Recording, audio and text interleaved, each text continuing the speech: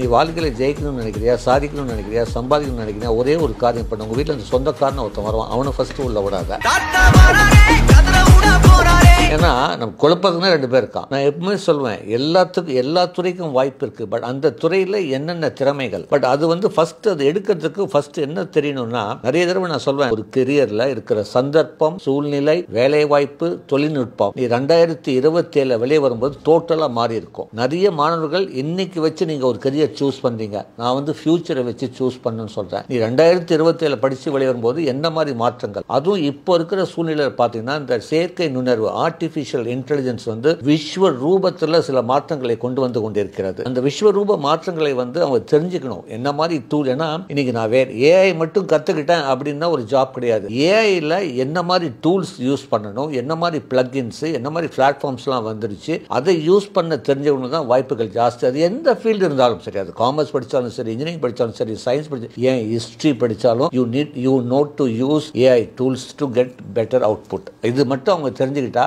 கண்டிப்பாக அவங்க வாழ்க்கையில் ஒரு நல்ல வேலையில் ரெண்டாயிரத்தி இருபத்தி ஏழு வெளியே வரும்போது கண்டிப்பாக கிடைக்கும் நம்பிக்கை இருக்குது சார் இப்போ பார்த்தீங்கன்னா டேட்டா சயின்ஸ் ஆர் ஏஐ அப்படின்ற ஒரு டிபேட்ஸ் இருக்கு. நிறைய பேர் வந்து ஏஐ மெயின் கோர்ஸாக எடுக்கலாமான்னு யோசிச்சுக்கிட்டு இருக்காங்க. லைக் யூஜியே அதை எடுத்து படிக்கலாமா அப்படின்ற மாதிரி ஒரு மைண்ட் செட்ஸ் இருக்கு. அது பார்ட் டைம் மாதிரி எடுத்தா கரெக்டாக இருக்குமா? இல்லை அதையே மெயின் கோர்ஸாக எடுத்து படிக்கலாமா சார்? சூப்பர் கேள்வி சார். நான் வந்து நிறைய தடவை சொல்வேன். ஏங்கிறது ஒரு பார்ட் ஆஃப் கம்ப்யூட்டர் சயின்ஸ் ரைட்டுங்களா எப்போவுமே don't narrow down in one particular platform ரைட்டுங்களா அடுத்தது வந்து அதனால தான் நீங்கள் பார்த்தீங்கன்னா ஐஐடி ஹைதராபாத் தவிர பழைய ஐஐடி எடுத்துக்கோங்க. ஐஐடி சென்னை ஐஐடி பாம்பே கரக்பூர் டெல்லி இவங்கெல்லாம் ஆர்டிஃபிஷியல் இன்டெலிஜென்ஸில் யூஜியில் கோர்ஸ் கொடுக்கறதில்ல. பிஜியில் கொடுக்குறது அது வேறு விஷயம். அதே மாதிரி நீங்கள் வந்து சைடு ஆன்லைன் கோர்ஸ் படிக்கிறதுல தப்பே கிடையாது. ஏன்னா கண்டிப்பாக தெரிஞ்சிருக்கணும். நீங்கள் ஏஐ பற்றி பேசிக் தெரிஞ்சிருக்கணும். அதே மாதிரி நீங்கள் டேட்டா சயின்ஸ் சொல்கிறீங்க டேட்டா சயின்ஸ் கூட வந்து இப்போ நாங்கள் என்ன சொல்கிறோம் அப்படின்னா learn about the basics but there lot of plugins வந்துருச்சு. ஒன்றும் இல்லை நீங்கள் கூகுளில் போய் கோட் இன்டர்பிரட்டர் இன் சேட் ஜிபிடின்னு போடுங்க. I repeat